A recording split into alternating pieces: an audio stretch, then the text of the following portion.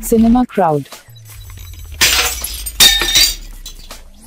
Sun டிவில பல சுவாரஸ்யங்களோட போயிட்டு இருக்க நந்தினி சீரியல்ல இன்னைக்கு எபிசோட்ல என்ன நடந்தது அப்படின்றத பத்தி தான் இந்த வீடியோல நம்ம பார்க்க போறோம். அருண் வந்து ராஜசேகர் கிட்ட கங்கா எங்க? அவளை என்ன பண்ணீங்க? அப்படின்னு சொல்லிட்டு கேட்டுட்டு இருப்பாரு அப்போ ரொம்பவே ஷாக் ஆயிட்டு ராஜசேகர் பாத்துட்டு இருப்பாரு நேத்துக்கு எபிசோட்ல அருண் ரொம்பவே டென்ஷன் ஆகி ராஜசேகர் கிட்ட கேக்குறாரு கங்காவை என்னதான் பண்ணீங்க? இப்ப நீங்க சொல்லல அப்படின்னா நான் கண்டிப்பா கம்ப்ளைண்ட் பண்ணிருவேன் போலீஸ்ல போயிட்டு அப்படின்னு சொல்லி சொல்றாரு. ராஜசேகர் அன்னைக்கு என்ன நடந்தது அப்படின்றத நான் சொல்றேன் அப்படின்னு சொல்லிட்டு சொல்றாரு. அருண் சொல்றாரு அப்போ நீங்க பார்வதிபுரத்துக்கு போனது உண்மைதானே அப்படின்னு சொல்றாரு. ராஜசேகர் ஆமா நான் போனேன். முன்னாடி ஒரு டைம் யோகி பூஜை கங்கா வச்சு பண்ண மாதிரியே இப்பவும் நாங்க வந்துட்டு ஒரு பூஜை பண்ணலாம் அப்படின்னு நினைச்சோம். அதுக்காக தான் வந்துட்டு நான் அவளை அனுப்புனேன். ஏன்னா முன்னாடியே யோகி பூஜை பண்றப்ப நீ இதுதான் கடைசி பூஜையே இருக்கணும் அப்படின்னு சொன்ன. அதனாலதான் இந்த பூஜை பண்றத பத்தி உன்கிட்ட எதுவுமே தெரியக்கூடாது அப்படின்னு நினைச்சோம் அப்படின்னு சொல்றாரு ராஜசேகர். அதுக்கு அருண் வந்துட்டு ரொம்பவே சைலண்டா அவர் சொல்றத நம்பவும் முடியாம நம்பாம இருக்கவும் முடியாம பாத்துட்டே இருக்காரு. ராஜசேகர் சொல்றாரு அதனாலதான் நான் பார்வதிபுரத்துக்கு கங்காவை போக சொன்னேன். அதே மாதிரி அவளை பூஜை எல்லாமே பண்ண சொன்னேன். ஆனா அவ அங்க இருந்து நேர அரண்மனைக்கு தான் வர சொன்னேன். ஆனா அவ அரண்மனைக்கு வரல.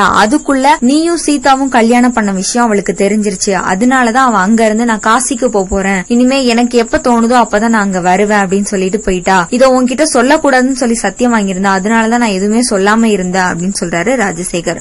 ஒரு வழியா ஏதேதோ சொல்லி அருணை கன்வின்ஸ் பண்ணிருக்காரு ராஜசேகர். அதை நம்பவும் இல்ல நம்பாம இருக்கவும் முடியல.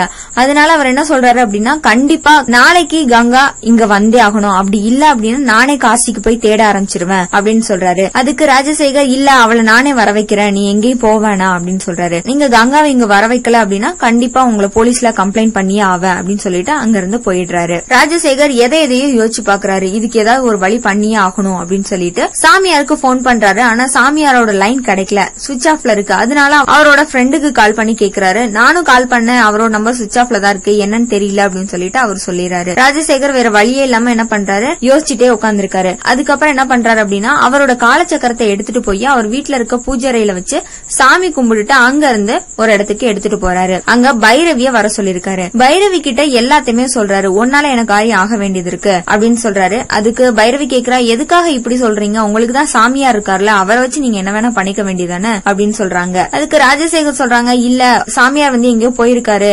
அதனாலதான் நான் உன்கிட்ட வந்து கேக்குறேன் எனக்கு உதவி பண்ண அப்படின்னு சொல்லிட்டு சொல்றாரு. பைரவி என்ன பண்ணணும் அப்படின்னு சொல்லி கேக்குறாங்க. ராஜசேகர் சொல்றாரு நீ கங்காவா உருமாறி என்னோட வீட்டுக்கு வரணும். அரண்மனைக்கு வந்து என்னோட பையனை நம்ப வைக்கணும். கொஞ்ச நாளைக்கு கங்காவா அங்க நடிச்சிட்டு சீதாவையும் அருணை சேர்த்து வச்சுட்டு நீ அங்க இருந்து போயிடு அப்படின்னு சொல்றாரு. அதுக்கு பைரவி ஒத்துக்க மாட்டேங்கிறா. ஏன் அப்படின்னா அவளுக்குள்ள அந்த சக்தி இல்ல அப்படின்றது அவளுக்கு மட்டும்தான் தெரியும். அது மட்டும் இல்லாம நீங்க காலச்சக்கரத்தை தருவீங்க அப்படின்னு நினைச்சதுனாலதான் நான் இங்க வந்தேன் அப்படின்னு பைரவி சொல்றா. ராஜசேகர் சொல்றாரு நீ மட்டும் கங்காவா உருமாறி என்னோட இந்த பிரச்சனையை சரி பண்ண அப்படின்னா கண்டிப்பா நீ எதிர்பார்க்கிற காலச்சக்கரத்தை நான் உனக்கே தந்துடுறேன் அப்படின்னு சொல்றாரு. இந்த மாதிரி பேசிட்டு இருந்த எல்லாத்தையுமே நந்தினிக்கு உதவி பண்ணிட்டு இருந்த அந்த ஐயா கேட்டுறாரு கேட்டுட்டு இதை எப்படியாவது நம்ம நந்தினி கிட்ட சொல்லி ஆகணும் அப்படின்னு சொல்லிட்டு அங்க இருந்து போயிடுறாரு. அடுத்த நாள் காலையில அருண் அரண்மனைக்குள்ள இருந்து வெளியில வந்துட்டு இருக்காரு. அப்போ ஒரு போன் வருது.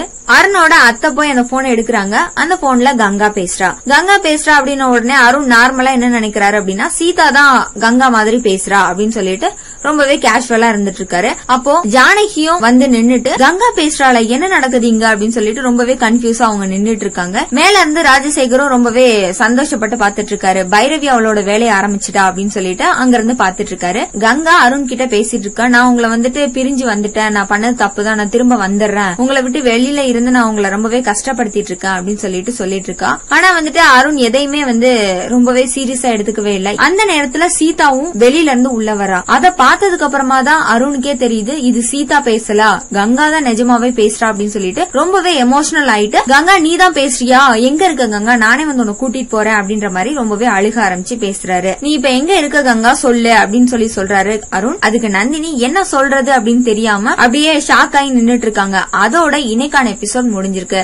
நாளைக்கு எபிசோட்ல என்ன நடக்க போகுது அப்படின்றத அடுத்த வீடியோல பார்த்து தெரிஞ்சுக்கலாம். கங்காவா அரண்மனைக்குள்ள வரப்போறது நந்தினியா? இல்ல கங்காவா உருமாறி இருக்க பைரவியா அப்படின்றதா மிக மிகப்பெரிய கேள்விக்குறியா அமைஞ்சிருக்கு. இந்த சீரியலை பத்தி நீங்க என்ன நினைக்கிறீங்க அப்படின்றத கீழே இருக்க கமெண்ட் பாக்ஸ்ல உங்களோட கமெண்ட்ஸை சொல்லுங்க. மேலும் இது போன்ற வீடியோக்களை பார்க்க சினிமா கிரௌட் சேனலை சப்ஸ்கிரைப் பண்ணுங்க. கூடவே இந்த பெல் ஐக்கான கிளிக் பண்ணுங்க. புது புது வீடியோக்கள் எல்லாம் உங்க மொபைல்ல நோட்டிபிகேஷனா வரும்.